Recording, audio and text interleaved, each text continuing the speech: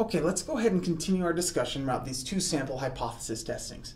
So as I said before, we got to kind of tweak our, um, our hypotheses so that they actually work with these two samples. So originally when we wrote out our null hypothesis and our alternative hypothesis, we were doing something like mu equals 7, the true mean of some population is equal to 7, and but the alternative, we think that it's actually less than 7.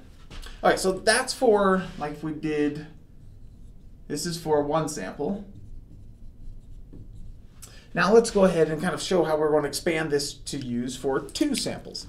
Uh, so we've got to look at it in, there's going to be kind of three different types because we have to handle uh, proportions. We've got to handle match pairs. It's a little different. And then we also have to handle um, our two sample independent um, just tests of the means. So let's start off with matched pairs. So matched pairs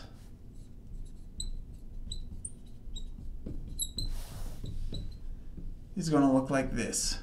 The null hypothesis, we're going to start off by saying mu sub d. Okay, and then the alternative hypothesis is still going to be mu sub d. And the baseline assumption is that this is going to be equal to 0. So remember in the previous video I talked about how, like an example of matched pairs is going to be twin tests.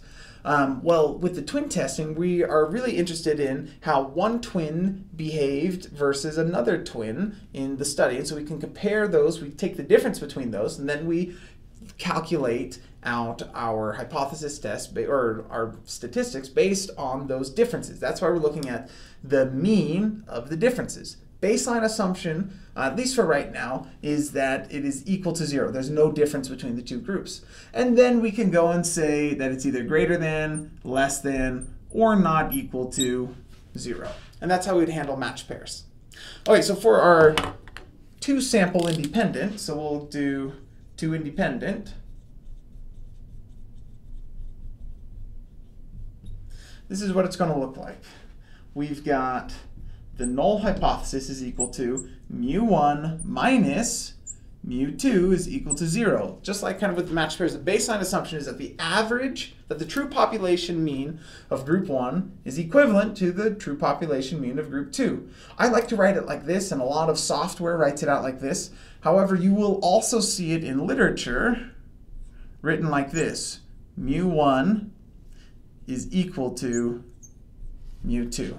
Just pull it to the other side of the equation. This is a semicolon, not a J, just so you knew that.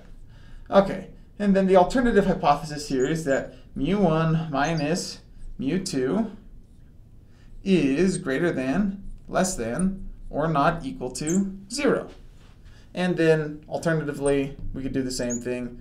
Mu1 is greater than, less than, not equal to 0. Oh, sorry. Not 0, mu2.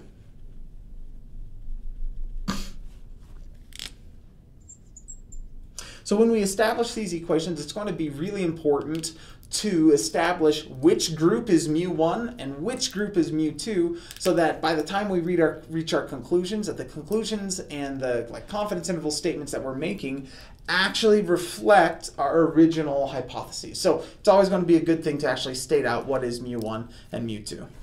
Okay, finally, for our proportions. So we've got two proportions.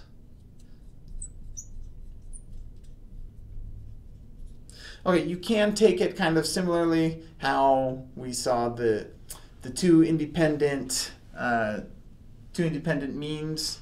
How there's two different ways you could write it. You can write it two different ways too with the proportions, but I'm just going to write it in the format how I like, um, which is the null hypothesis is going to be p1 minus p2 equals 0. And the alternative is just going to be P1 minus P2, and then we've got greater than, less than, not equal to 0. So those are really like the four different hypotheses that we can go down. I'm going to dive into the specifics of each of these uh, so that we can like get a little bit of a better feel of what's actually going on. Uh, but hopefully that this is going to start getting us thinking about, hey, now we're dealing with two uh, different samples that we have to deal with, and writing our hypotheses is going to be a little different than how we first were writing them with just our one sample.